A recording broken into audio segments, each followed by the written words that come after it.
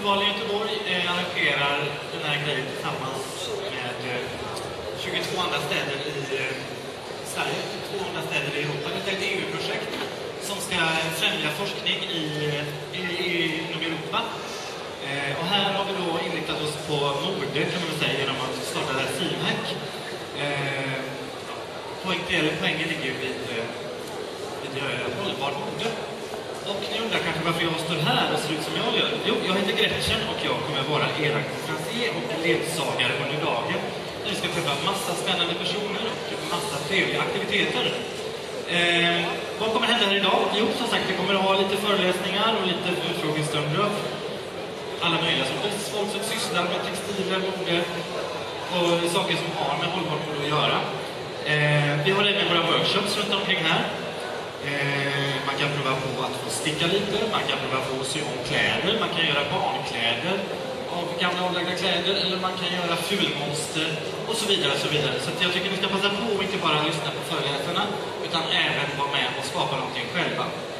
Eh, vi har någonting under dagen som heter Swaporama. Det innebär att man tar med sig sina kläder, lämnar in dem och klockan 14 och 16 kommer vi att ha sådana Swoporama-stunder på 20 minuter. Då allting som är inlämnat hängs upp och man har fått guldmynt när man lämnar in kläderna och de kan man handla för där under 20 minuter.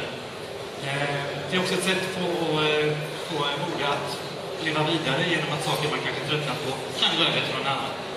Men låt inte mig stå här alldeles ensam och prata och vara tråkig. Vi ska börja med en man som har rest mycket längre än de flesta kan tänka sig, skulle jag säga. Eh, han är Sveriges första och enda astronaut. Och han är aktuell för att han har skrivit en barnbok bland annat. Jag kommer att presentera honom nu på scenen, Christer Fuglesang. Hjärtligt välkommen! Hej, tack Tack ska du ha. Trevligt att ha dig här. Du gör ju... Ja, du har varit här förut. Ja. ja. Du har varit på många spännande ställen, kan man väl säga. Ehm, just nu är det ju höst och det börjar bli tråkigt, men du har ganska mycket att göra. Du har ju som sagt, eh, du är ju astronaut. Ja. Sen har du det här Pi-priset, vad är det för någonting? ja, det är en eh, pris som utlyses för den som har skrivit en väldigt bra populärvetenskaplig bok om något forskningsfält. Det kan vara liksom vad som helst. Och eh, vi fick in ett 20-tal väldigt bra eh, förslag för det här. Och vi får titta på vem som ska vinna det här Pi-priset. Pri- Det heter Pi-priset då därför att eh, det ska vara 3, 1, 4, 1, 5, 6, alltså 314 000 kronor någonting. Ja, och det är så för att stimulera och främja vetenskap och naturvetenskap och populärvetenskaplig framställning utav det här. Så att liksom, vi lär oss också vad forskarna gör.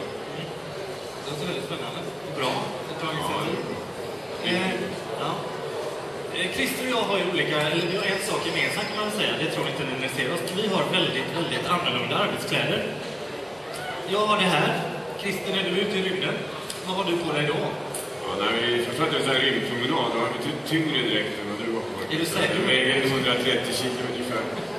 Och eh, väldigt tjock och tät då, för att eh, ute i rymden är ju vakuum, men inne i rymddräkten måste vi ha luft, ren syre. Och den ska klara av att hålla temperaturen, den ska klara av att skydda oss också mot strålning lite grann. Eh, Och det är egentligen nästan en liten enmansrymdskepp i sig. Det, det är det mest häftiga dräkt man kan ha.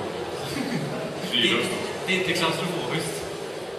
Nej, det kan man ju i och för sig eh, tycka. Ja, man ty- tycker om man inte kan klara sig klias på näsan i åtta timmar så ska man inte gå in i Då, rymddräkten. då får du monster ut, tror jag. Vad kostar en sån dräkt? Du sa att det var det dyraste man kan tänka sig. Ja, alltså det är ju... Det är inte bara en klädesplagg, det är ju ett slags man säga. Och Utveckla en sån kostar som miljarder av kronor. Om man vill utveckla det sen så kanske bygga en till som miljoner kronor. Ja, okej. Det kan jag tänka mig. Man vill ju också att det ska funka ordentligt. Ja, det är är väldigt tråkigt om det är som en sömn då, eller vad man säger. Ja, det tar lång tid att ta på sig kan inte ens ta på sig den själv. Man måste ha hjälp för att få- på sig den. Ja, häftigt. Sen har du gjort en sak till. Du har skrivit en eh, barnbok nu. Ja, den här. Ja, Rymdresan. Fantastiskt. Du har en speciell tanke med den också. Det är inte bara vilken barnbok som helst kan man säga. Det är ju inte för du har skrivit den. Men eh, du har en tanke tanken är att eh, det ska vara ett roligt äventyr, saga. Men eh, där berättas om saker som då är, lite kan vara på riktigt och en del som är på riktigt. Och blanda in här för att eh, mekanikstyckenhet hos barnen, vad är det som är riktigt? Och för att verkligen då kunna skilja på vad som är riktigt och vad som bara är ren fantasi så finns det ett tillägg till slutet då, som man kallar faktafantasi. Med hänvisning till texten där det förklaras kanske var någonting kommer ifrån. Det pratas om eh, till exempel eh, Hubble Space Telescope, så lite om vad det är. Eh, och sen så när det bara är ren fantasi, genom ett svart hål tillbaka i tiden, det, det, det, det är bara ren fantasi, men det står om det också. Då. Det är fantasi. Hoppas kunna lära lite och, och framförallt växa nyfikenhet och inspirera barn till att lära sig mer. Du kanske vill läsa lite